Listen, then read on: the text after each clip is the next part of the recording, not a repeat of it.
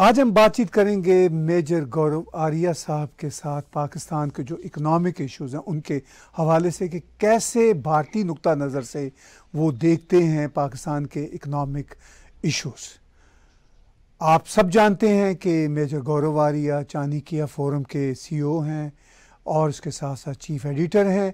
बहुत ही बढ़िया ये थिंक टैंक है। आप इसके जो ऐप्स हैं अपने आईफोन और एंड्रॉयड पे ज़रूर डाउनलोड कीजिए।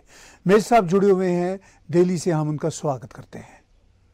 Thank you very much sir मेरे साहब देखिए इंटरनेशनल मॉनिटरी फंड ये एक इंटरनेशनल बैंकिंग सिस्टम है जो ज़ाहिर है इसका सारे का सारा बेस वो यूनाइटेड स्टेट्स में है। और इसके पूरी दुनिया के जो कंट्रीज़ हैं ना वो इसके एक तरह से मालिक हैं। थोड़े थोड़े कंट्रीब्यूशन हर कंट्री की इसमें होती है। अब इंटरनेशनल मॉनिटरी फंड पाकिस्तान को बहुत ही सख्त शराइ पर अमदाद देना चाहता है या कर्जा देना चाहता है। लेकिन इमरान खान का दावा था आने से पहले हुकूमत में कि हम तो इंटरनेशनल मॉनिटर फंड की कोई बात नहीं सुनेंगे और हम तो उनसे कर्जा भी नहीं लेंगे।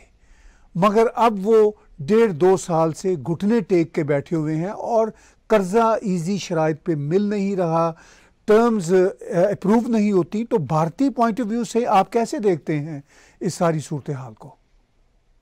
मुझे लगता है सर कि जो उन्होंने अपने फॉलोअर्स को वादे करे थे कि कटोरा मैं कशकोल तोड़ दूँगा और ये सब जो बड़ी बड़ी बातें करी थी खान साहब ने, वो सब लोग करते हैं सर एज अ सियासतदान उन्होंने बातें करी अब मुझे लगता है कंटेनर से अब नीचे उतर चुके हैं। फिर बीच बीच में कभी कभी बुखार चढ़ता है, खान साहब को चढ़ जाते हैं कंटेनर के ऊपर वो। लेकिन अब मुझे लगता है कि काफ़ी हद तक नीचे उतर चुके हैं। पहली चीज़ ये। दूसरी चीज़ ये सर कि आप कह रहे हैं कि जो शराइ हैं वो बड़ी कठिन है, बड़ी मुश्किल है। उसकी वजूहत भी हैं। सर, सबसे बड़ी बात ये होती है कि जब रिस्क ज़्यादा होता है तो इंटरेस्ट भी ज़्यादा होता है। जो लोन होता है सर, और देने की जो शराइ है वो बड़ी कठिन, बड़ी मुश्किल होती है जब किसी को लगता है कि रिस्क है।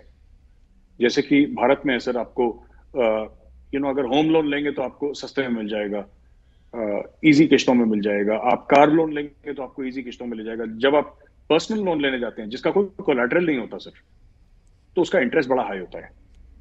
अगर आप विड्रॉल अगेंस्ट क्रेडिट कार्ड करें सर तो उसका इंटरेस्ट बहुत ज़्यादा हाई होता है। तो ये this is normal banking sir ये सिस्टम है।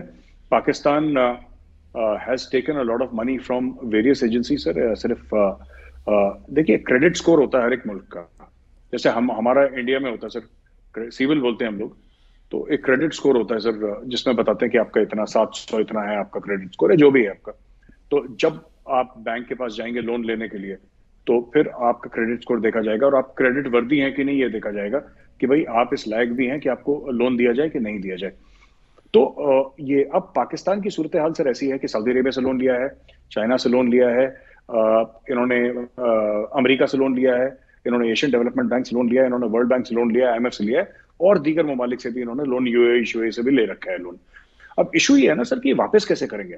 लोन की तो बेसिक शर्त ये होती है कि इसको वापस कैसे करना है। तो अब ये कह रहे हैं कि साहब ये आईएमएफ ने यू नो जो भी शराइत बड़ी मज़बूत कर दी है तो आईएमएफ को भी तो डर है it is also accountable sir IMF किसी ना किसी को तो जवाब देगा, अपने बोर्ड ऑफ़ डायरेक्टर्स को जवाब देगा, और उसके अंदर आपने बिल्कुल ठीक बोला कि जो पैसे डाले हैं वो सारे मुल्कों ने मिलकर थोड़े डाले, किसी ने कुछ डाले अपनी हैसियत के हिसाब से, अपनी औकात के हिसाब से। मुल्कों ने पैसे डाले। अब कल वो मुल्क बोलेंगे, साहब, आपने सारा पैसा हमारा पाकिस्तान से दे दिया। आप जरा प्लान तो बताइए कि पाकिस्तान पैसा वापस कैसे करेगा? बिकॉज़ वो भी तो वहाँ के मुल्कों का सर टैक्स पेयर्स का पैसा है ना। It is account that money has to be accounted for तो जब उनको लगता है कि एक्सपोजर बहुत ज़्यादा है इस अमाउंट का, पाकिस्तान को आपने थ्री बिलियन डॉलर दे दिया sir Pakistan has no plan no tangible plan के, वो वापस कैसे करेगा वो थ्री बिलियन डॉलर्स या टेन बिलियन डॉलर्स वापस कैसे करेगा? क्या पास्ट में उसने वापस करे हैं? कि सिर्फ़ उसने ब्याज वापस करा है, जो इंटरेस्ट है वो वापस करा है कि पाकिस्तान ने असल भी वापस करा है प्रिंसिपल अमाउंट भी वापस करा है? ये सब लोग देखते हैं, उसके बाद शराय और जिसको कहते हैं कि और ज़्यादा सख्त होती चली जाती है। तो पाकिस्तान के केस में ये हो रहा है it has a bad credit history Pakistan has got a bad credit history sir इसलिए ये प्रॉब्लम हो रही पाकिस्तान को। तो मैं सब जो सिचुएशन है पाकिस्तान के इकोनॉमिक क्राइसिस की, वो भारत पर क्या कोई इम्पैक्ट करेगी? जैसा कि मिसेस सिद्धू कभी कहते हैं जो भारत के, पंजाब के पॉलिटिशियन है कि हम पाकिस्तान के साथ तजारत करना चाहते हैं। तो ये जो बैड क्रेडिट हिस्ट्री है, ये भारत के साथ किसी किस्म के फाइनेंशियल इम्पैक्ट को लेकर आती है? मुझे नहीं लगता भारत को कोई फ़र्क पड़ेगा, सर। पाकिस्तान के इकोनॉमी चले कलाप्स हो जाए, हमें तो कोई लेना देना नहीं। जहाँ तक सिद्धू की बात है, सिद्धू का एक खास वोट बैंक है। सिद्धू को इकोनॉमी की समझ है नहीं। सिद्धू को खैर किसी चीज़ की भी समझ नहीं है। सिद्धू को बेसिक ये समझ है कि मेरा फ़ायदा कहाँ पे है। पहले कैप्टन अमरिंदर सिंह को अड़ंगी लगाई उसने। फिर अब जो चन्नी साहब हैं, जो मुख्यमंत्री हैं चीफ मिनिस्टर हैं वज़ीर अला हमारे भारत पाके भारत के, पंजाब के, उनको अड़ंगी लगा रहा है। किसी तरीके से वो बन जाए चीफ मिनिस्टर, किसी तरीके से उसकी चले, बस यही है। अभी सुना है कि दूसरी पार्टियों में भी वो तांग झाँक कर रहा है कि कांग्रेस में दाल नहीं गली तो कहीं और भाग जाऊँगा मैं। तो ये चीज़ है। दूसरी चीज़ ये है कि जो कहते हैं कि भारत चाहता है पाकिस्तान से ट्रेड करना, सिद्धू कौन होता है? सिद्धू कौन होता है कहने वाला कि भारत चाहता है कि नहीं चाहता? वो भारत की कैबिनेट डिसाइड करेगी, भारत के प्रधानमंत्री डिसाइड करेंगे। दूसरी चीज़ और ट्रेड भारत ने तो बंद नहीं करी। ट्रेड तो पाकिस्तान ने बंद करी थी। तो अब सिद्धू, जिसको बड़ा भाई कहता है इमरान खान को, उसको बोले अपने बड़े भाई को कि भैया ऐसा हो गया है, कुछ करो तो उसका बड़ा भाई अगर सचमुच है तो कुछ करेगा। वैसे इंडिया को कोई फ़र्क नहीं पड़ता सर, पाकिस्तान ट्रेड करे तो अच्छा ना करे तो और भी अच्छा। क्योंकि पाकिस्तान मीशत के मामले में बहुत छोटा है और हमें ऐसा कोई टेंजिबल फ़ायदा नहीं है सर। ये सौ, दो सौ, पाँच सौ करोड़, हज़ार करोड़, पाँच हज़ार करोड़ की, ये ये तो सर, ये ये नकली मामला है सर, ये इतना तो इतना तो जयपुर के सर जौहरी बाज़ार है, सर। इससे ज़्यादा ट्रेड तो वहाँ पे हो जाती है महीने में, सर। जहाँ पे ज्वेलरी बिकती है ना जयपुर में, सर, बड़ी मशहूर है भारत की सबसे जो टॉप जो ज्वेलरी के मार्केट्स हैं जौहरी बाज़ार। जौहरी बाज़ार के अंदर, जयपुर के अंदर, सर, इससे ज़्यादा ट्रेड हो जाती है। क्या बात कर रहे हैं? पाकिस्तान इंडिया की ट्रेड ये बेकार की बात है। देखिए अहमेद साहब, आपने पिछले शोज़ में भी ये खुल के बात कही कि अगर आपकी राय ली जाए तो आप तो पाकिस्तान के साथ किसी किस्म का कोई तल्लक ही नहीं बनाना चाहते। क्योंकि जो ज़ख़म भारत को लगे हैं, जो टेररिस्ट एक्टिविटीज़ भारत में हुई हैं, उसके बाद आवाम की जो अक्सरियत है भारत की, वो तो कोई रिलेशन बनाना ही नहीं चाहती। आपने एक बार बड़ी स्ट्रांग बात की थी कि हम तो चाहते हैं कि दीवारें खड़ी कर दें कोई हमारा रबता ही ना हो जो हो आ, वो सरहद के पार होता फिर हमें उससे कोई सरकार नहीं। लेकिन आज के सोशल मीडिया में जीते हुए इस तरह की दीवारें खड़ी नहीं हो सकती। एक ही कल्चर है एक ही भाषा है और एक ही सोचने का अंदाज़ है। तो वो जो अंदाज़ है वो आवाम की भारत की जनता की ख्वाहिश के बावजूद वो फिर भी हमें सोशल मीडिया पे भारत और पाकिस्तान का रबता एक रहता है, चाहे ट्रोल की सूरत में हो, चाहे किसी भी सूरत में हो। तो जो कुछ पाकिस्तान में होता है, वो इफ़ेक्ट तो करता है, तमाम तरह आपकी ख्वाहिशात के बावजूद। नहीं सर, ऐसा नहीं है। और मुझे तो नहीं लगता, ये सब ऐसा होता है कि सोशल मीडिया पर दस किस्म के लोग होते हैं सर। भारत की जनसंख्या सर 130 135 करोड़ है। अब सबका एक जैसा मूड तो होता नहीं, सबका एक जैसा मन नहीं होता। एंड पीपल आर वेलकम जो, जिसको अगर ज़्यादा पाकिस्तान के साथ रिश्ते करने हैं तो करे। आप जिसको पाकिस्तान के साथ मतलब अगर अपने एट अ पर्सनल लेवल कुछ यारी दोस्ती करनी है तो कर ले। कहने की बात यह है कि एज अ नेशन सर और दूसरी चीज़ है कि कल्चर एक है, ये भी एक झूठ है सर कहाँ का कल्चर एक है सर सिंध पूरा का पूरा पाकिस्तान में है सर यहाँ पे जो हिंदू सिंधी हैं, उनका तो रबता टूट गया सिंध से। पाकिस्तान तकसीम हो गया। खैबर पख्तूनखा का हमारे साथ कोई लेना देना नहीं है। कश्मीर तो घेर रखा है पाकिस्तान ने। तो मतलब क्या क्या रिश्ता हो गया? एक जबान बोलते हैं तो क्या हुआ सर? अगर एक जबान बोलते हैं तो। तो क्या हुआ? और एक जबान कौन बोलते हैं? जो हिंदी स्पीकिंग है, वही तो बोलते हैं, सर। या जो पंजाबी स्पीकिंग है, वही तो बोलते हैं। साउथ इंडिया वाले तो एक जबान नहीं बोलते। साउथ इंडिया में भी बड़े सारे मुस्लिम्स हैं। क्या वो एक जबान बोलते हैं? जो गुजरात वाले हैं, क्या वो एक जबान बोलते हैं? जो मराठी हैं, क्या वो एक जबान बोलते हैं? जो हमारे पूरे नॉर्थ ईस्ट हैं सेवन सिस्टर स्टेट्स हैं असम हमारा त्रिपुरा, हमारा नागालैंड, हमारा मिजोरम, हमारा मेघालय, वगैरह वगैरह जितने भी स्टेट्स हैं, क्या वो एक जबान बोलते हैं? तो इट इज़ सर पाकिस्तान इतना सा है, छोटा सा। हिंदुस्तान बहुत बड़ा है। तो वो जो लोग कहते हैं ना सर कि एक जबान बोलते हैं सर हमारे ना कस्टम्स एक है, ना हमारे ट्रेडिशन एक हैं राइट जबान ठीक है, एक है, ठीक है, जिसमें हिंदी, उर्दू मिक्स्ड एक लैंग्वेज दोनों लोग बोलते हैं। वो कई लोग यहाँ पे भी बोलते हैं, पाकिस्तान में तो सभी लोग बोलते हैं। दैट्स ओके सर बात यह है ना कि हमें पाकिस्तान से रिलेशन रखने का फ़ायदा क्या है? क्या हमें इसीलिए करना है? क्योंकि काफ़ी लोग दिल्ली में भी कहते हैं कि बेटा हमारे जो बाप दादा आए थे लाहौर से और ये बड़ा था, वो बड़ा था कि इमोशनल बातें, ये सब सर बेकार की बातें ठीक है? ये सब बेकार की बातें कि बड़ी याद आ रही है लाहौर की। क्यों आ रही है याद? आपको तो वहाँ से ट्रेन में लाशें भेजी थी यहाँ पे, और यहाँ से भी लाशें गई थी, ऐसी बात नहीं है कि यहाँ वाले कुछ खास शरीफ थे, उसमें हिंदू भी मरे, उसमें मुसलमान भी मरे, यहाँ से भी ट्रेनें आई, वहाँ से भी ट्रेनें गई। तो ये जो प्यार है सर, ये जो, ये ये फ्रॉड है सर, ये ये सिंथेटिक है, ये बनाया गया ज़बरदस्ती। आप कत्लो गारत कितनी हो चुकी है, दोनों मुल्कों के बीच में। चार चार जंगें हो चुकी हैं। पंजाब में टेररिज्म हो चुकी है, कश्मीर में टेररिज्म हो चुकी है, ठीक है सर? छब्बीस ग्यारह parliament attack Akshardham attack you you you name it sir कितने सैकड़ों तो यहाँ पे अटैक हो चुके हैं। उड़ी की बात कर लीजिए, पुलवामा की बात कर लीजिए। ये कौन से प्यार की हम बात करते हैं, सर? हम कौन से कॉमन कल्चर की बात करते हैं? हम बात करें कि ठीक है, सर, आप भी मक्के की रोटी सरसों का साग खाते हो। हमारे यहाँ भी पंजाब में बड़ा मक्के की रोटी सरसों का साग चलता है। फिर आप धमाके में हमारे पंद्रह बंदे मार दो। ये ये कौन सा कॉमन कल्चर है? और इस कॉमन कल्चर का फ़ायदा क्या है? ये कॉमन कल्चर किसका किसका फ़ायदा कर रहा है? हमारा इंडिया का तो नहीं कर रहा कम से कम। ठीक। तो फिर उसको खत्म ही करें, सर, ये सब, ये दकियालू सी बातें सर, ये बेकार की बातें हैं। कुछ there are some people who don't live Bharat में ऐसे कई सारे लोग हैं, जिनका रियलिटी से कोई लेना देना नहीं है। उनका हकीकत से कोई संबंध नहीं है, सर। वो अपनी हवा में उड़ते रहते हैं कि अगर सिद्धू साहब is a case in point वो कभी आर्मी चीफ के वहाँ पे जाके गले जनरल बाजवा के गले लग जाते हैं। एंड ठीक है पाकिस्तानी आर्मी इज़ uh, मैं एक और बात कहना चाहूँगा थोड़ी सी अटपटी है सर और हो सकता है आपके व्यूअर्स को थोड़ी सी अटपटी लगे लेकिन ये बात सच आई एम ऑल्सो फौजी सर ठीक है।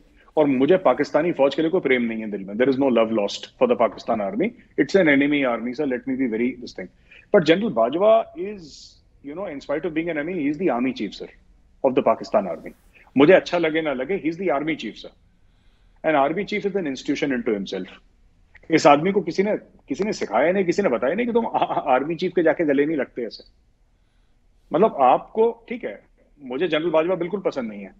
But at the end of the day is the army chief of an army sir ये जाके सिद्धू, किसी के भी गले लग जाता है, किसी को भी बोल देता है, मेरा, तुम्हारा भाई नहीं है ही is the army chief is chief of army staff of the Pakistan army it may be an enemy army but the army chief is an institution तो ये किससे कैसे बात करनी है? क्या तमीज होती है उसकी? ही अब वो पहुँच गया इमरान खान मेरा भाई है वहाँ पे पहुँच गया। बेगानी शादी अब्दुल्ला दीवाना ट्रेड करनी चाहिए। उससे पूछो ट्रेड रोकी किसने? है हमने तो नहीं रोकी ट्रेड ट्रेड तो पाकिस्तान ने रोकी है। तो अपने बड़े भाई से जाके बात कर। भाई साहब आपने मुंबई टेररिस्ट अटैक की बात की आ, आज ऑलमोस्ट तेरहवा साल हो गया। और भारत में कैसे इसको आज भी देखा जा रहा है उन ज़ख्मों को? और उसके साथ साथ जो कल्परेट्स भारत का कहना है कि पाकिस्तान में दंदनाते फिर रहे हैं तो क्या आज के दिन डिमांड भारत की आपको नज़र आती है? Sir they should be brought to justice और मैं तो ये कह रहा हूँ, अगर आप मुझसे पूछें, मैं तो ये कहूँगा कि India should very aggressively take it up sir whether it is diplomatic initiatives financial initiatives जब आपके पास प्रूफ है, और आपको ऐसा पता है कि ये पाकिस्तान के थ्रू हुआ, और पाकिस्तान में भी सर छब्बीस ग्यारह के तीन तीन एफ़ फ़ाइल करें पाकिस्तानी स्टेट में। तो जो पाकिस्तानी इंडियन टेलीविज़न पे आके झूठ बोलते हैं ना, कि हमारा कुछ लेना देना नहीं, और छब्बीस ग्यारह इंडिया ने कर दिया, और इंडिया की साजिश थी फॉल्स लग ऑपरेशन था, है ना? तो मैं ये कह रहा हूँ कि अगर इंडिया ने फॉल्स लग ऑपरेशन कर दिया तो तुम लोगों ने फिर हाफिज सईद के ऊपर केस क्यों करा? तुम लोगों ने तीन तीन एफ़ क्यों फ़ाइल करे लोगों के ऊपर, भाई? तो मना कर देते इंडिया झूठ बोल रहा है, बोल देते। नहीं बोला इन्होंने, इनको भी पता है। इनको भी पता है। They filed F I sir in Pakistan Pakistan की कोर्ट्स में एफआईआर पेश हो चुके हैं। केसेस चले हैं। कहने की बात यह है कि उन्होंने केस चल के रफा दफ़ा कर दिया कि हमारे कोर्ट्स ने बोला कि कोई सबूत नहीं मिला। But the fact of the matter is जो इतने सारे लोग मर गए सर बॉम्बे में, जो फॉरेनर्स जो गेस्ट आए थे, उनकी जाने चली गई। जो हमारे पुलिस वाले, हमारे एनएसजी वाले जो शहीद हो गए वहाँ पे right there should be some accounting for lives there should be some accounting for life, and it is the job of the government to hold those people responsible, sir. And uh, there are various ways. I don't want to uh, say publicly on the platform, but uh, those people must be brought to justice.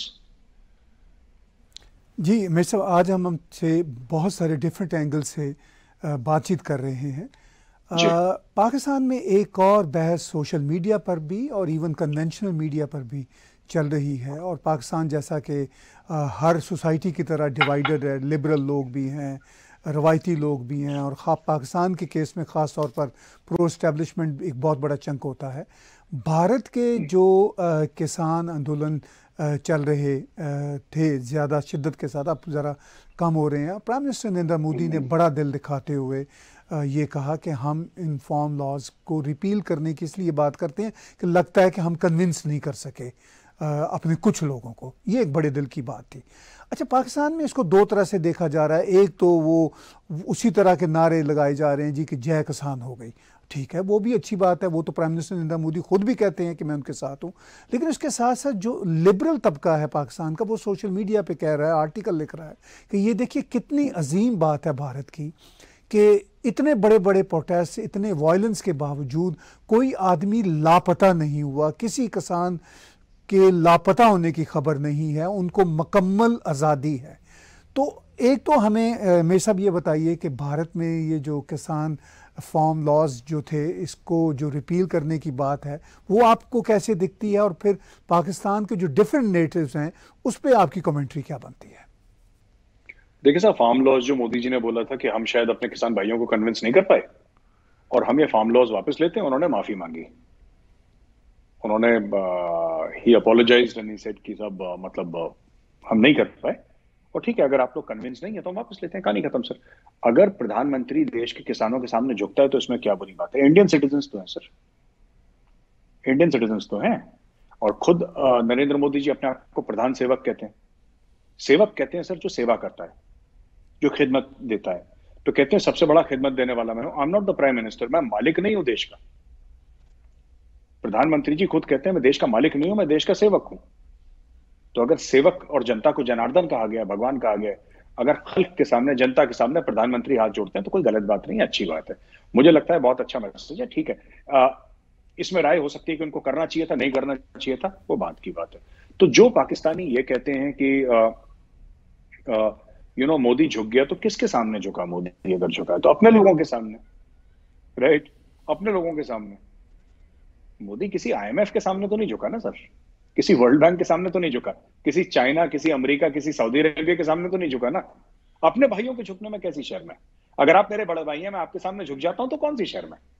That's all right और जो Pakistani liberals कह रहे हैं कि कोई गायब नहीं हुआ, ये मैंने सोचा नहीं था। जब आपने मुझे बताया then I started thinking about it कि यहाँ कोई गायब हमें आदत नहीं है सर लोगों का गायब होने की। यहाँ पे होते नहीं है गायब। तो I think it must be a novelty in Pakistan that इतना बड़ा प्रोटेस्ट हुआ, कोई गायब नहीं हुआ। लेकिन हाँ सही बात है, कोई गायब नहीं हुआ, कुछ जाने गई लोगों की। There some exposure to cold और आई थिंक कुछ और भी चीज़ें हुई थी, कुछ वायलेंस भी हुआ था जिसमें लोगों की जाने गई हैं। कुछ हुआ था, झड़प भी हुई थी जिसमें लोगों की जाने गई हैं। कितनी जाने गई, मेरे पास एग्जैक्ट फिगर्स नहीं है, लेकिन नाउ इट्स ओवर सरकार ने बोला, ठीक है, देखिए, मैंने फार्म लॉज पढ़े हैं सर और मुझे ऐसा लगा है कि फार्म लॉज जो है आप उसको प्रो मोदी या एंटी मोदी मत देखिए। आप ये देखिए उसको मेरिट पे। हमारे इंडिया में भी एक कमी है लोगों की सर दिमाग नहीं लगाते इमोशनल हो जाते हैं। ठीक है ना? कि अगर ये मोदी के खिलाफ है तो मैं कूद पड़ूँगा कि यू नो कि मुझे विरोध करना है, किसी भी तरीके से कुछ भी हो जाए।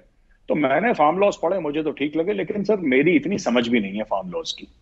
लीगल मैटर्स की मेरी समझ नहीं है। ना मैं फार्मर हूँ। ठीक है? तो मेरा ओपिनियन फार्म लॉज सही है या गलत है मेरा ओपिनियन इतने सीरियसली नहीं लिया जाना चाहिए इस मामले में कि मेजर गौरवारी ऐसा कुछ सोचते हैं क्योंकि neither am I the impacted party sir neither do I have knowledge मैं खुल के बोल रहा हूँ। मुझे इतनी समझ नहीं इतना इल्म नहीं इतनी अकल भी नहीं है कि मैं फार्म लॉस समझूं वो अच्छे हैं बुरे हैं फार्मर्स ने ठीक करा गलत करा मोदी जी ने ठीक करा गलत करा who am I to comment sir गलत करा ठीक करा। लेकिन आ, अगर किसानों को नहीं पसंद आए या किसानों को ऐसा लगा कि हमारे हक में नहीं है तो ठीक है सर इट्स डेमोक्रेसी यहाँ पे चलता है सर चार कदम अगर आप आगे लेंगे तो एक आध कदम आपको पीछे भी लेना चाहिए। और इसमें एक और चीज़ है ना सर कि अगर हम तरक्की भी कर लें, और ये बहुत बड़ा मैसेज है चाइना को सर। ये चाइना को और पाकिस्तान दोनों देशों को ये जो फार्म लॉज रिपील करें, बहुत बड़ा मैसेज है। अगर हम तरक्की भी कर लें और अगर हम अपने भाइयों को साथ में ले जाएँ तो तरक्की कैसी है सर? है ना? चाइना तरक्की करता है सर दंदन आता हुआ तरक्की कर रहा है। और लोगों को साथ नहीं ले जा सकता। अगर मैं हूँ सर, मेरे पाँच भाई हैं और मैंने खूब तरक्की कर दी और मेरे पाँचों के पाँच मेरे बाकी पाँच भाई अगर पीछे छूट गए तो एक ऐसी तरक्की सर? ये तो खोखली तरक्की है तो मुझे लगता है कि ठीक है sir. We have taken many steps forward sir अगर एक स्टेप पीछे लिया और उससे हमारे छूटे हुए भाई अगर हमसे जुड़ गए, मैं अग्री करूँ, ना करूँ सर मोदी जी ने सही करा, गलत करा, मेरी इतनी समझ भी नहीं है सर ना किसानों के प्रति, ना किसानों के खिलाफ। दोनों तरफ़ की मेरी समझ नहीं है राइट और मेरी जो अंडरस्टैंडिंग है फार्म लॉज की in spite of having read it I admit that it could be shallow हो सकता है मेरी अंडरस्टैंडिंग ही शैलो हो sir maybe I don't understand the repercussion चाहे मैं उस व्यू से उस विजन से नहीं देख पाता। uh, लेकिन at the same time sir ठीक है। अगर हम कुछ अपने भाइयों को साथ लेके चले तो ठीक है सर इट्स गुड डेमोक्रेसी में चलता है आगे पीछे होता है। जी बहुत अहम बात की आपने। और देखिए मैं सब जहाँ पाकिस्तान की लिबरल फोर्सेस रश्क से देख रहे हैं कि भाई भारत में डेमोक्रेसी का प्रोसेस बहुत बढ़िया बहुत आगे है अनफॉर्चुनेटली पाकिस्तान में नहीं है। इसी तरह वो इकनॉमिक डेवलपमेंट्स को भी बहुत रश की निगाह से देख रहे हैं। वो वाज तौर पर देख रहे हैं कि भारत बहुत लंबे अरसे से और फिर कोविड के बाद एक बार फिर से तरक्कियों की राह पे है। जबकि पाकिस्तान में कोई इकनॉमिक फ्यूचर नज़र नहीं आता। ये मैं आपको बता रहा हूँ, नुकता नज़र पाकिस्तान के जो सेंसिबल पढ़े लिखे लोगों का है, वो उसको वाज तौर पर देख रहे हैं। ये गूंज आपको या ये कंपैरिजन आपको भारत में बैठे हुए भी नज़र आता है? नहीं, बिल्कुल, मैं तो पाकिस्तान को तैर सा बड़ी क्लोजली स्टडी करता हूँ और मैं पाकिस्तान को, रोज पाकिस्तानी न्यूज़पेपर्स पढ़ता हूँ। उनके टीवी प्रोग्राम देखता हूँ, सर, और हाँ ये मैंने भी जो आप कह रहे हैं, सच बात है सर, मैंने भी इसको अपने कानों से सुना है, आँखों से देखा है। इसमें दो बातें सर। हमारे जो इकोनॉमी के फंडामेंटल्स हैं, सर, वो ठीक ठाक हैं। क्या हमारी इकोनॉमी परफेक्ट है? बिल्कुल नहीं। क्या हमारी डेमोक्रेसी परफेक्ट है? बिल्कुल नहीं। क्या हमारी सेकुलरिज्म परफेक्ट है? बिल्कुल नहीं, सर। हम ये नहीं कह रहे कि हम लोग परफेक्ट हैं, लेकिन हम धीरे धीरे आगे बढ़ रहे हैं, क्योंकि हम चाह रहे हैं कि हमारे फंडामेंटल स्ट्रॉन्ग हो, हमारी इकोनॉमी के फंडामेंटल स्ट्रॉन्ग हो। पाकिस्तान की इकोनॉमी इसलिए गड़बड़ा रही है, सर, क्योंकि उसके फंडामेंटल्स वीक है, सर। उसके बेसिक्स कमज़ोर हैं। उनके एक्सपोर्ट आप देखिए, पाकिस्तान में जो एक्सपोर्ट्स हैं, वो ना के बराबर हैं। ठीक है? आप पाकिस्तान का टैक्स बेस देखिए। बहुत कम है sir it's a very small tax base तो पैसा कहाँ से कमाएँगे सर पैसा किस तरीके से कमाएँगे? आप how how will you earn money you cannot earn money because there is no money आप रेमिटेंसेस पे अच्छा एक और चीज़ है बड़ी इंपॉर्टेंट जो पाकिस्तान बड़ा रश करता है इस पे कि हमारे बिलियंस ऑफ़ डॉलर्स के रेमिटेंसेस आते हैं। एक्चुअली देखिए सर ऐसा होता है कि जो आ, हमारे पास भी ऐसे हैं जो लोग हैं जो आ, थोड़ा सेमी स्किल्ड टाइप के लोग हैं, जो, और पाकिस्तान में भी हैं, सर, जो टैक्सीज चलाते हैं, जो प्लम्बर्स हैं, जो कारपेंटर्स हैं, जो इलेक्ट्रिशियंस हैं, जो बेसिक काम करते हैं, सर गल्फ में करते हो मिडल ईस्ट में करते हो कनाडा में करते हो, कहीं पर भी करते हो, सर सेमी स्किल्ड लेबर हमारा भी है, पाकिस्तान का भी है। लेकिन पाकिस्तान का और हमारा सेमी स्किल्ड लेबर और हमारे स्किल्ड लेबर में, या हमारे जो टॉप लोग जाते हैं, उसमें यह फ़र्क है, सर, कि अगर कोई इंडियन टैक्सी ड्राइवर है अगर कोई इंडियन ऐसा काम करता है जिसको आप कायदे से सेमी स्किल्ड कह सकें या फिर मुझे एग्जैक्ट uh, टर्मिनोलॉजी नहीं पता बट ऐसा इतना हाईली पेइंग नहीं है। यह बात भी सच है कि टॉप कंपनीज़ के सर दुनिया भर में सीओ जो है इंडियंस हैं। ठीक है सर तो ऐसी बात नहीं है कि इंडियंस ऐसा काम नहीं करते इंडियन टैक्सी ड्राइवर गल्फ में नहीं है या इंडियन लेबर नहीं है जो साइट पे काम करता है जो ईटें ढो रहा है या जेसीबी चला रहा है कुछ ऐसा ऐसे बात नहीं है कि सिर्फ़ पाकिस्तानी और सारे के सारे इंडियन सीईओज हैं। लेकिन fact of the matter is कि हमारे यहाँ थोड़ा सा बैलेंस है, पाकिस्तान में बैलेंस नहीं है। राइट सर पाकिस्तान में बैलेंस नहीं है। ऊपर से पाकिस्तान ने क्या करा है कि सबसे पाकिस्तान ने लड़ाई मोल ली है सर पाकिस्तान ने सबसे लड़ाई मोल ली है। सऊदी को आके दिखा दी, अमेरिका को आके दिखा दी, आपने यूरोप को आके दिखा दी, आप सभी से झगड़ा कर रहे हैं, चाइना वैसे ही आपसे खफा है।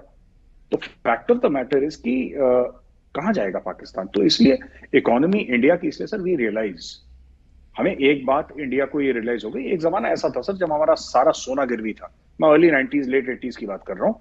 हमारे भी हाल बहुत खराब थे लेकिन फिर ठीक है।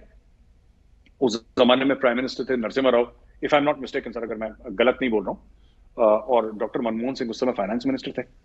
आ, मैं माफ़ी चाहूँगा अगर मेरे मुँह से गलत नाम निकल गए लेकिन जितना मुझे याद है मैं वैसे बता रहा हूँ। और इन लोगों ने सर काम करा है सर, धक्का मारा है इन लोगों ने धीरे धीरे। धीरे इकोनॉमी को ट्रैक पे लाए। और हमारे पास वैसे ही शुरू से ही डे वन से एक एजुकेशन बेस्ड तो था। इंस्टीट्यूशन ऑफ़ एक्सीलेंस थे हमारे पास आई थे आई थे। मोदी जी ने क्या करा है सर कि मोदी जी ने कोशिश करी कि इकोनॉमी में ना, जैसे स्टेरॉइड्स लगते हैं ना किसी के that is what he is attempting to do ये जैसे बड़े बड़े इंफ्रास्ट्रक्चर के प्रोजेक्ट्स बन रहे हैं। तो ये वेन्स एंड आर्टरीज हैं कंट्रीज़ की, सर, ये बड़ी बड़ी जो हाईवेज और एक्सप्रेस मोदी जी बना रहे हैं। These are the veins and arteries of India, sir. ये इंडिया को नेक्स्ट लेवल की ट्वेंटी फ़र्स्ट सेंचुरी की इकोनॉमी से जोड़ के उसको सरपास करके कल चाइना को टक्कर देना ये इसकी तैयारी आजकल हो रही है। नितिन गडकरी जी हैं सर जो मिनिस्टर हैं वो सड़कें सड़कें बनाते हैं सर। ये दिन रात सड़कें बन रही हैं। इतने अभी उन्होंने अनाउंस करा है कि दो लाख पता नहीं कितने लाख किलोमीटर तो सड़कें बनेंगी पूरे भारत में। तो और ये बन भी रही हैं सर। वो बना भी रहे हैं Gadkari ji. He is delivering also on ground समय से पहले विद इन द बजट जो पहले इंडिया में नहीं होता था तो all the fundamentals are in place sir और कमियाँ हैं अभी भी, वो कमियाँ दूर करेगी। तो वी आर होपफुल कि हमारी इकोनॉमी अच्छी है। एज फार एज पाकिस्तान से economy is concern sir Pakistan की पूरी इकोनॉमी सर लोन और रेट पे डिपेंड है। एक कंट्री सर जिसमें मैक्सिमम आप बताइए कि मैक्सिमम बंदे जो हैं seventy percent eighty percent of the people are are dependent on agriculture और एग्रीकल्चर बेस्ड इनकम सर ये पाकिस्तान में जो मैंने जितना मैं जानता हूँ और माफ़ी चाहूँगा अगर मैं गलत बोल रहा हूँ लेकिन maximum people are engage in agriculture वो मुल्क net importer of food grain अगर है और 10 बिलियन डॉलर से ऊपर फ़ूड ग्रेन वो हर साल इंपोर्ट कर रहा है तो ये तो मेरे ये लॉजिक ही मेरे समझ के बाहर है सर अगर आप आपके ज़्यादातर बंदे किसान हैं आपके ज़्यादातर बंदे खेत से आ, अनाज उगा रहे हैं और फिर आप बाहर से भी इंपोर्ट कर रहे हो so there is something drastically wrong in the way Pakistan is managing all this बस यही यही चीज़ मुझे समझ में नहीं आती सर कि पाकिस्तान बना क्या रहा है एक्सपोर्ट क्या कर रहा है और इंपोर्ट क्या कर रहा है और लॉजिक क्या है उसका? क्योंकि पाकिस्तान स्टडीज़ में तो बोला है कि आपके छह मौसम है, आठ पता नहीं कितने मौसम है, दुनिया भर की नदियाँ आपके पास हैं, आपकी मिट्टी इतनी जरखेज है कि आप मिट्टी के ऊपर मिट्टी फेंकें तो पहाड़ उग जाता है। पता नहीं क्या क्या स्टोरी सुना रखी है सर पाकिस्तान स्टडीज़ में। अगर ये सब सच है, जो पाकिस्तान स्टडीज़ में लिखा है तो फिर इतनी प्रॉब्लम क्यों है पाकिस्तान में? आखिर अगर हिंदू साजिश कर रहा है तो कितनी कर लेगा सर साजिश? कितनी, अगर मैं ही हूँ हिंदू, मैं कितनी साजिश कर लूँगा सर? दिन में 24 घंटे ही तो साजिश कर लूँगा, सर। 24 घंटे में से मैं 36 घंटे तो साजिश नहीं कर लूँगा। तो फिर सारी नदी आपके पास, मिट्टी आपकी दुनिया में सबसे जरखेज सारी नियमतों से आपको नवाजा गया है। फिर प्रॉब्लम क्यों है? देखिए, बात यह है कि सिर्फ़ और सिर्फ़ जो रश का मामला है, वो इकॉनमी या डेमोक्रेसी के मामले में ही नहीं है, डिप्लोमेसी के मामले में भी है। अभी जो कोविड के बाद की जो सूरत हाल है अभी अगर से कोविड पूरी तरह ख़त्म तो नहीं हुआ, लेकिन जो थोड़ी बहुत नॉर्मलाइज ज़िंदगी हुई है, उसमें भी दुनिया को पता चला कि रोम हो, वाशिंगटन हो ग्लास्को हो प्राइम मिनिस्टर नरेंद्र मोदी को वर्ल्ड लेवल लीडर के तौर पर ट्रीट किया जाता है, भारत को एक इंटरनेशनल स्टेक होल्डर के तौर पर ट्रीट किया जाता है। तो ये जो सारी की सारी डेवलपमेंट है, एक भारतीय होने के नाते में सब आपको कैसे दिखती हैं और कितना आपको इस पे फख्र होता है? सर, फख्र तो बहुत है जब मोदी जी जाते हैं, सर, और आप टू प्लस टू डायलॉग हो रहे हैं, सर। कॉड का हिस्सा बन रहे हैं। एक और दूसरा कॉड बना है, जैसे इसराइल भी है यूए भी है। और हर जगह सर भारत की इतनी पूछे तो ज़ाहिर सी बात है। बट एक और चीज़ है इसके पीछे, सर। इमरान खान ने आपको याद होगा, सर, आई थिंक एक साल पहले कोविड के बीचों बीच अपने सारे डिप्लोमेट्स को बुलाया था और लथाड़ा था बुरी तरीके से सर बुरी तरीके से उनको टाइट करा था कि तुम लोग नालायक हो और काम नहीं करते इंडिया को देखो, वो इतना। मैं, देखिए, बात ये ना कि सर पाकिस्तानी डिप्लोमेट्स अच्छे हैं, बुरे हैं I am not in a position to comment sir मैं तो कोई एक्सपर्ट हूँ नहीं डिप्लोमेसी में। लेकिन मैं इतना कह सकता हूँ कि डिप्लोमेट्स के साथ भी तो कुछ होना चाहिए सर खेलने के लिए। इंडिया के डिप्लोमेट्स हैं सर जब इंडिया के डिप्लोमेट्स ठीक है, चलिए हम मानते हैं कि इंडिया के डिप्लोमेट ज़्यादा कमिटेड है। चलिए मान लिया। For the sake of argument academic सबने मान लिया कि पाकिस्तान से ज़्यादा इंडिया के डिप्लोमेट्स कमिटेड हैं। लेकिन इंडिया के डिप्लोमेट्स के पास कुछ तो है कहने के लिए सर इंडिया के डिप्लोमेट फॉर एग्ज़ाम्पल अगर बात करेंगे किसी मुल्क से, अफ्रीका के किसी मुल्क से बात करेंगे, कीनिया के लिए, दिल से कि हम यहाँ पे इतना इन्वेस्टमेंट करेंगे, इतना ये करेंगे ये करेंगे, वो करेंगे। ठीक है? पाकिस्तान क्या बोलेगा सर क्योंकि डिप्लोमेसी का तो डिप्लोमेसी तो लेन देन का नाम है। ये पाकिस्तान में सिर्फ़ लेन लेन है देन तो है नहीं। इन्होंने बोलना क्या है? इन्होंने बोलना क्या है सर? इन्होंने तो यही बोलना है ना कि आ, कश्मीर पे एक बयान दे दें। और एक बार बयान दे दिया आपने फिर पैसे दे दें। और तीसरी बात तो उन्होंने कुछ करनी नहीं है मतलब कि there is sir there is nothing else Pakistan spoken ना आप देखिए इमरान खान जब भी बाहर जाते हैं अगर यूएन में इमरान खान की स्पीच है तो ही इज़ जस्ट बाय कि उन्होंने कितनी बार कश्मीर का मसला उठाया। पाकिस्तानी कौम भी तो ऐसी है ना उनकी ट्रेनिंग वैसी है। कि भाई आपने कश्मीर कश्मीर कश्मीर करा कि नहीं करा? अब वो बेचारा सब तोते की तरह कश्मीर कश्मीर कर... अब दुनिया का तो कश्मीर से मूड हट गया है, क्योंकि दुनिया कहती अब ये ये कहते हैं, जैसे फॉर एग्ज़ाम्पल सर ठीक है? अर्दोगान तो टाइट हो गया अर्दोगान सर तुर्की का तो मामला भी बुरा चल रहा है। अब फॉर एग्ज़ाम्पल ये गए सर जर्मनी गए। एक एग्ज़ाम्पल दे रहा हूँ। ये गए नहीं, पर मैं एक एग्ज़ाम्पल दे रहा हूँ। इमरान खान पहुँच गए जर्मनी। अब जर्मनी के चांसलर से इनकी बातचीत चल रही है। बोला कि, मैडम, ऐसा है कि आप जरा कश्मीर पे एक बयान दे दीजिए। तो उसने बोला, ठीक है खान साहब, हम कश्मीर पर बयान दे देंगे। अच्छा खान साहब, आप बताइए, आप हमारे लिए क्या कर सकते हैं? तो इन्होंने बोला, मैडम, हम आपके लिए कुछ भी नहीं कर सकते। हमने आज तक किसी के लिए कुछ नहीं करा जो आपके लिए करेंगे, लेकिन कश्मीर के ऊपर बयान दे दीजिए। अच्छा चलिए, जर्मनी ने एक बार दे दिया, दो बार दे दिया। तीसरी बार जर्मनी भी हाथ खड़ी कर देगी, यार, तुम हर समय मांगने के लिए आते हो, देने के लिए तुम्हारे पास कुछ है नहीं। हमारा क्या लेने देना कश्मीर के साथ? जर्मनी की तरफ़ से कश्मीर कहीं पे भी हो, चाँद पे हो, इंडिया पाकिस्तान पे ना हो, चाँद पे हो जर्मनी कहेगा हमें क्या लेने देना भाई। तुम चौबीस घंटे एक ही रात और लोगों ने कहना शुरू कर दिया है। तायर साहब लोगों ने यह बात कहनी शुरू कर दी है कि तुम यार एक ही गाना गाते हो यार। एक ही गाना गाते हो। हमें नहीं सुनना वो गाना क्योंकि हमारे मफाद में नहीं है वो गाना। हमें फा, हमारे फ़ायदे की तो बात करो कभी कभी अगर दस बार दस बार तुम कश्मीर करते हो तो पाँच बार हमारी भी तो फ़ायदे की बात करा करो। फ़ायदा आप किसी को पहुँचा नहीं सकते। आपने डिप्लोमेसी की बात करी था पाकिस्तान की डिप्लोमेसी क्यों कमज़ोर है? इसलिए कमज़ोर है क्योंकि पाकिस्तान की इकोनॉमी कमज़ोर है। अगर ये 20 साल तक, मैं आपको बता रहा हूँ, ये कड़वी लगेगी पाकिस्तानी, पर मैं कई पाकिस्तानियों को बोल चुका हूँ और अग्री करते हैं मुझसे। अगर 20-25 साल तक पाकिस्तान ये बोले कि ना हम कश्मीर करेंगे, ना हम फिलिस्तीन करेंगे, ना हम जिहाद करेंगे, ना हम चाइना करेंगे, ना हम इंडिया करेंगे, ना हम कुछ करेंगे, हम 25 साल तक सर अपना स्लीव्स फोल्ड करके, अपना सर नीचे करेंगे, मेहनत करेंगे और अपनी इकोनॉमी जो हमारी मैशत है, हम अपनी इकोनॉमी को टॉप में ले जाएँगे। अगर इन्होंने ये कसम खा ली पाकिस्तानियों ने तो सर इनके कश्मीर के बारे में भी, फिलिस्तीन के बारे में भी सब सुनेंगे, क्योंकि इनकी जेब में पैसा होगा। जब पैसा होता है सर, गर्मी रहती है आदमी में। सिंपल सी बात है। अब पैसा इनके पास है नहीं सर।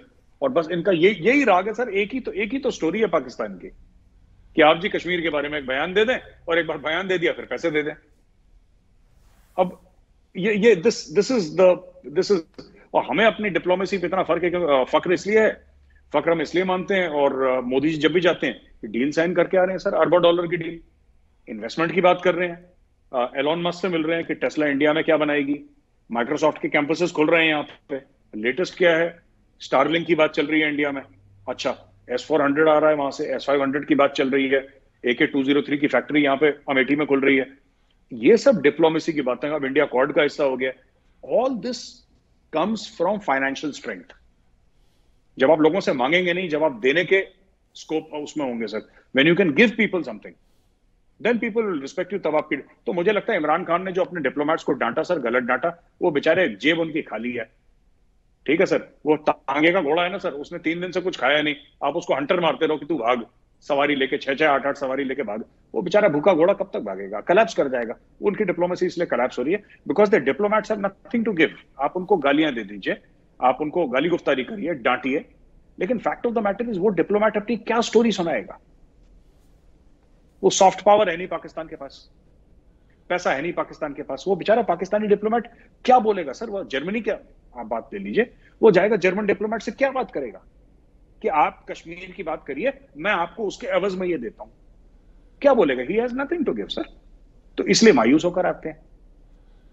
देखिए, एक बहुत बड़ा मसला उस रीजन का, अफ़गानिस्तान का है और तालिबान के आ जाने के बाद सिचुएशन फिर थोड़ी सी अनप्रडिक्टेबल हो चुकी है। अगरचे आज के तालिबान हाथ जोड़ के खड़े हैं पूरी दुनिया के सामने और अमेरिकन के साथ भी उनकी मीटिंग्स हो रही हैं बैक टू डिप्लोमेसी चल रही है। मगर कोई मामला आगे नहीं बढ़ रहे। मगर मैं उसको देखता हूँ, पाकिस्तान के national security adviser Moeed Yusuf के जो हालिया इंटरव्यू हैं उस कॉन्टेक्स में।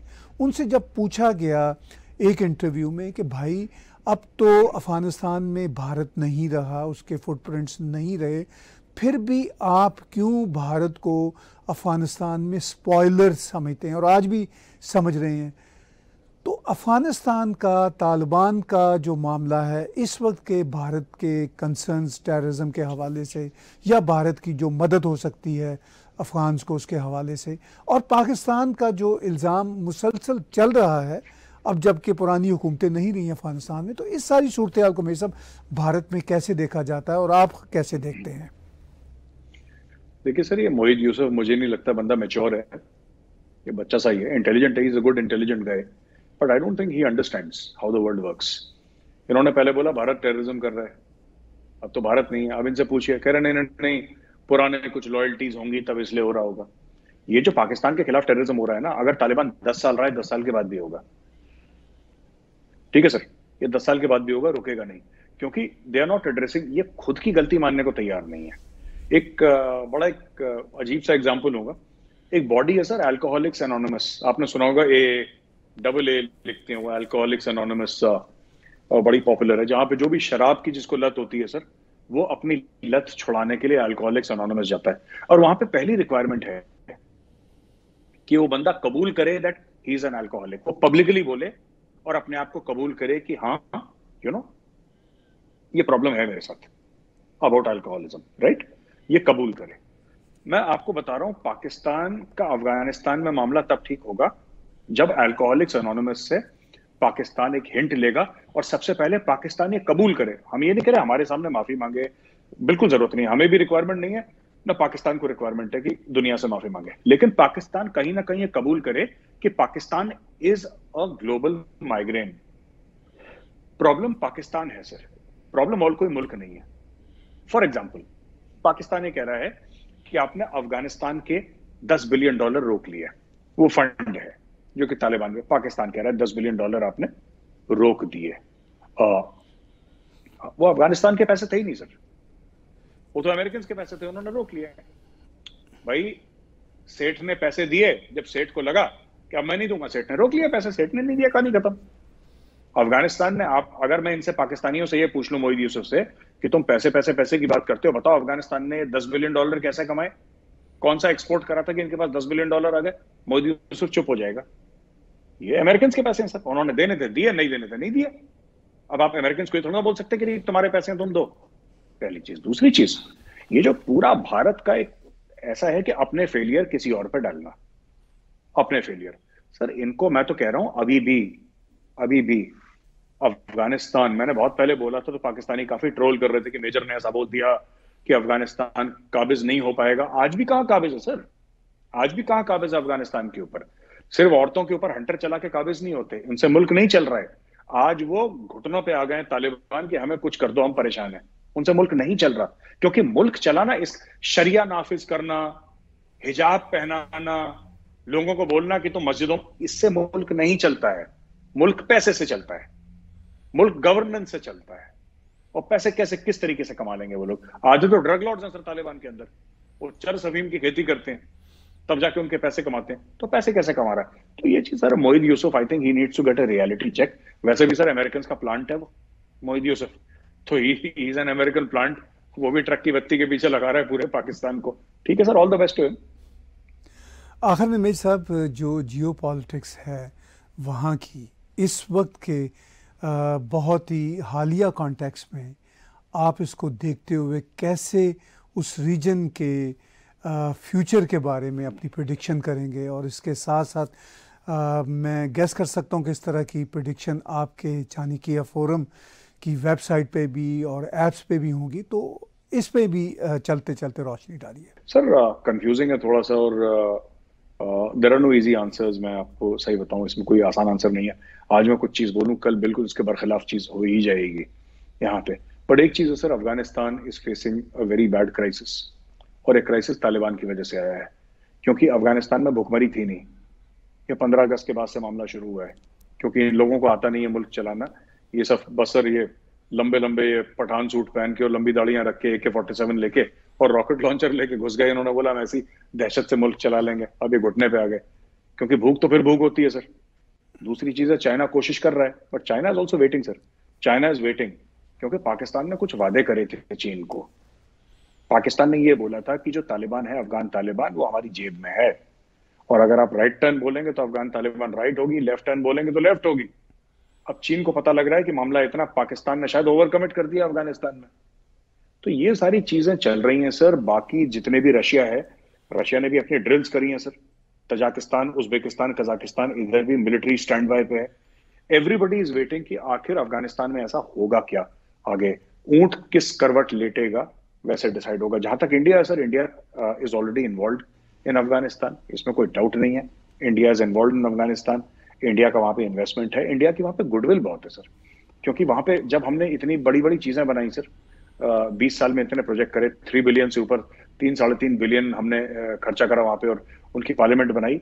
अगर कोई एक कागज़ दिखा दे सर तालिबान वाला, अभी तो वही सत्ता में है sir they are in power Taliban वाला एक कागज़ दिखा दे कि इंडिया ने बोला कि हमने थ्री बिलियन डॉलर तुम्हारे ऊपर खर्च करें और हमने तुम्हारी एक छोटी सी गले मोहल्ले की, गली मोहल्ले की एक सड़क को हमने गिरवी रखवा लिया एक कागज़ दिखा ले। तो मैं आप ही के प्रोग्राम में आके सर माफ़ी मांगूँगा कि इंडिया ने ऐसा करा वी डू ये सर, ये चाइना वाला मामला नहीं है हमारा कि लाहौर का एयरपोर्ट गिरवी रख दिया और कराची का एयरपोर्ट नहीं नहीं नहीं, सर। हमने खर्चा करा है, ठीक है। हमने बेनिफिट के लिए करा है और हम छोड़ कर आ गए वहाँ पे। और हम दोबारा चले जाएँगे अफ़गानिस्तान, सर। हमारी ज़रूरत होगी, हम दोबारा चले जाएँगे अफ़गानिस्तान। लेकिन कहीं आपको दुनिया, और दुनिया भर में इंडिया इन्वेस्टमेंट कर रहा है सर आजकल, पर आपको कोई अफ्रीकन कंट्री सर, श्रीलंका के साथ हमारे पोर्ट का मुआदा हुआ है सर अभी 700 मिलियन डॉलर्स का, अदानी पोर्ट्स ने करा है सर। श्रीलंका एक कागज़ दिखा दे सर। चैलेंज है मेरा, कि जहाँ पर बोला कि नहीं, अगर तुमने वापस नहीं करा तो हम तुम्हारी ज़मीन गिरवी कर लेंगे, और श्रीलंका की ये जो ज़मीन है, ये भारत की हो जाएगी। जैसे चाइना करता है, जैसे चाइना ने हनुमान टोटा पोर्ट में करा, पूरा सर गवादर उसने खा लिया, पूरा बलोचिस्तान पे काबिज हो गया। Do such a thing sir हमारी पॉलिसीज़ बड़ी क्लियर है sir we are very clear thank you very much मेरे साहब. बहुत बहुत शुक्रिया आपने हमें वक्त दिया और जो जियो पॉलिटिक्स हैं उसके हवाले से हमें अपनी कमेंट्री भी दी। बातचीत सुन रहे थे आप मेजर गौरव वारिया साहब की। उन्होंने भारत के नुक्ता नज़र से भी और जो वैसे भी हालात हैं जियो पॉलिटिक्स के उस हवाले से भरपूर तरीके से अपनी कमेंट्री की। आज का बिला तकल्फ तजिया मेरे साथ और मेजर गौरव आर्या जी के साथ देखने और सुनने का बहुत शुक्रिया। हमारे यूट्यूब के चैनल को सब्सक्राइब कीजिए और इसके साथ साथ आप हमारे डोनेट के बटन को क्लिक करके आप हमें कंट्रीब्यूट भी कर सकते हैं। बहुत बहुत शुक्रिया।